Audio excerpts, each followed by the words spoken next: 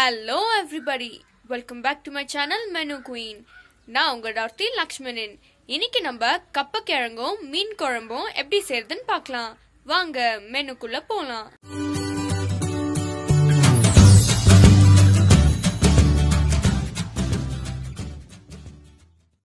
நம்மளோட main ingredient மீனும் கப்பக்கிழங்கும். கப்பக்கிழங்கு வெந்துட்டு இருக்கு இப்போ நம்ம மீன் குழம்பு செய்யலாம்.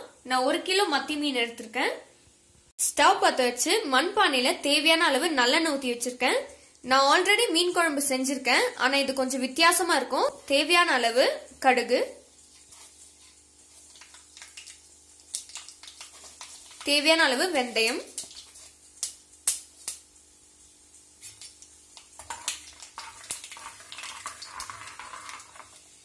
தேவையான அளவு கருவேப்பிலை. இடிச்ச இஞ்சி. பத்துலேருந்து பதினஞ்சு பல் பூண்டு.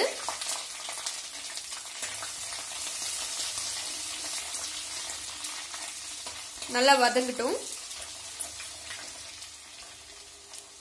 நாலுலேருந்து அஞ்சு பச்சை மிளகா ரெண்டாக கீரி போட்டுக்கோங்க.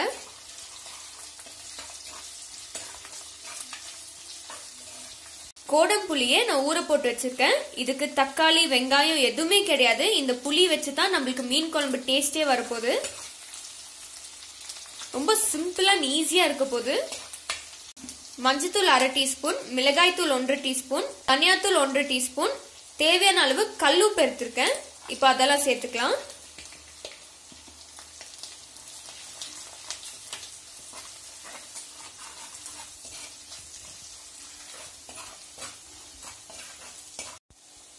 இப்போ அந்த கோடம் புளியை தண்ணியோட அப்படியே ஊத்திக்கோங்க.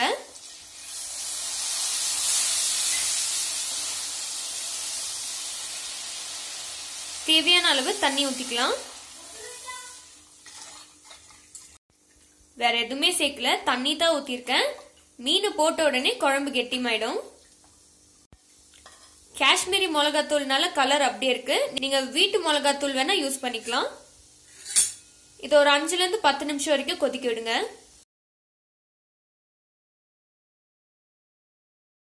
கொதிச்சிருச்சு. இப்போ ஒவ்வொரு மத்தி மீனா எடுத்து போடலாம்.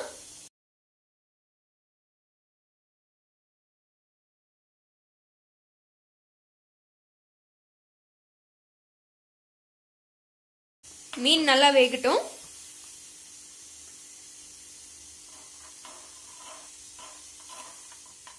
குழம்ப விட மீன் அதிகமா இருக்குன்னு நினைக்காதீங்க. ஏன்னா நம்ம இது கப்பையோட சாப்பிட போறோம். சாப்பாடோட சாப்பிட போறது இல்ல. மீன் வெந்த பின்னாடி எப்படி இருக்குன்னு பார்க்கலாம். ரெண்டு நிமிஷம் ஆயிடுச்சு. இப்போ இந்த கோடம் புளியை மட்டும் அப்படியே எடுத்துடலாம். ஏன்னா அப்படியே விட்டா ரொம்ப புளிப்பாயிடும். உங்களுக்கு புளிப்பு வேணும்னா அப்படியே விட்டுருங்க.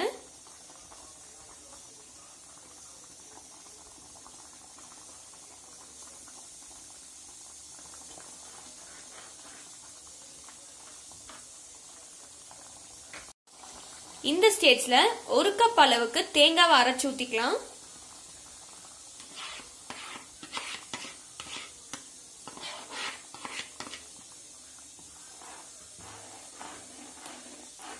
தேங்காய் ஊத்தியாச்சு. ரெண்டே நிமிஷம் விட்டு ஒரு கொதி வந்த உடனே ஆஃப் பண்ணிக்கலாம். நல்லா கொதிச்சிருச்சு. மீனும் வெந்துருச்சு. ஸ்டவ் ஆஃப் பண்ணிட்டு கிழங்கு தாளிச்சுக்கலாம். ஸ்டவ் பற்ற வச்சு ஒரு கடாயில தேவையான அளவுக்கு தேங்காய் எண்ணெய் ஊற்றி வச்சிருக்கேன். ஊட்டியில தேங்காய் எண்ணெய் கெட்டிமா தான் இருக்கும். தேங்காய் எண்ணெய் சூடாயிடுச்சு. தேவையான அளவு கடுகு போட்டுக்கோங்க.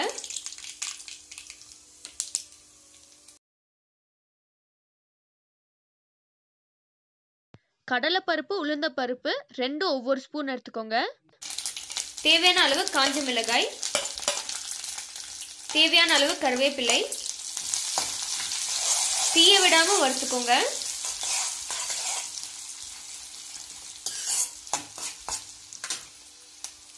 ரெண்டு பச்சை மிளகா.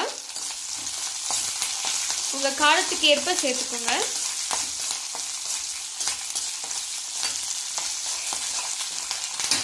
தேவையான அளவு வெங்காயம்.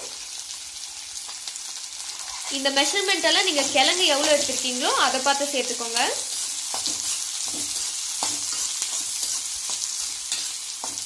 லைட்டா ப்ரௌன் ஆகட்டும். கிழங்க நான் உப்பு போட்டு வேக வச்சேன். சிலர் மஞ்சத்தூளும் போட்டு வேக வைப்பாங்க. தேவையான அளவு மஞ்சள் பொடி. தாளிச்சதை அப்படியே மேலே ஊற்றியும் சாப்பிடலாம். ஆனால் நான் கிழங்கு இதில் போட்டு ஒரு கிண்டு கிண்டிக்கிறேன். நான் எப்பவுமே இப்படி தான் பண்ணுவேன். கிழங்கு சூப்பரான கிழங்கு. நல்லா மாவு மாதிரி இருக்கு. தேங்காயும் நல்ல மனம் தருது. ரெடி ஆயிடுச்சு. ஸ்டவ் ஆஃப் பண்ணிட்டு சர்வ் பண்ணிக்கலாம்.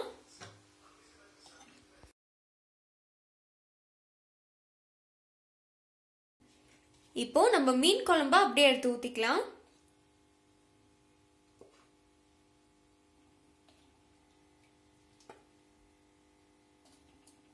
நம்ம சூப்பரான சுவையான கப்பக்கிழங்கு மீன் குழம்பு ரெடி டேஸ்ட் பண்ணி பார்க்கலாம்.